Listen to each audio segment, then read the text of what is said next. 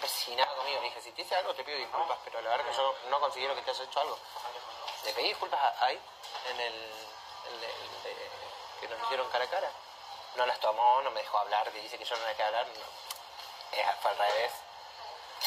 ¿Sabes que tengo más ganas de irme yo si tengo que estar aguantando esas cosas? Deja que la gente decide y si vos te quedás, vos que no, no te vayas, no seas boludo. Sí, porque... No seas boludo. Sí, bueno, No, no, eh. Juanete. No, Emma, no seas boludo. Es horrible, boludo. Sí. Es horrible. Y Bueno, nadie pero- dijo nada. Tipo, No, che, no para, y sabes qué, y, y nadie se merece que gratuitamente a uno lo agredan así. No. no. Yo creo que no. No está bien.